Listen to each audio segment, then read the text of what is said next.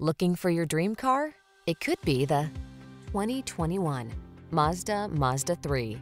With less than 60,000 miles on the odometer, this vehicle stands out from the rest. Here's a 3 that's poised to put the fun back into your daily drive.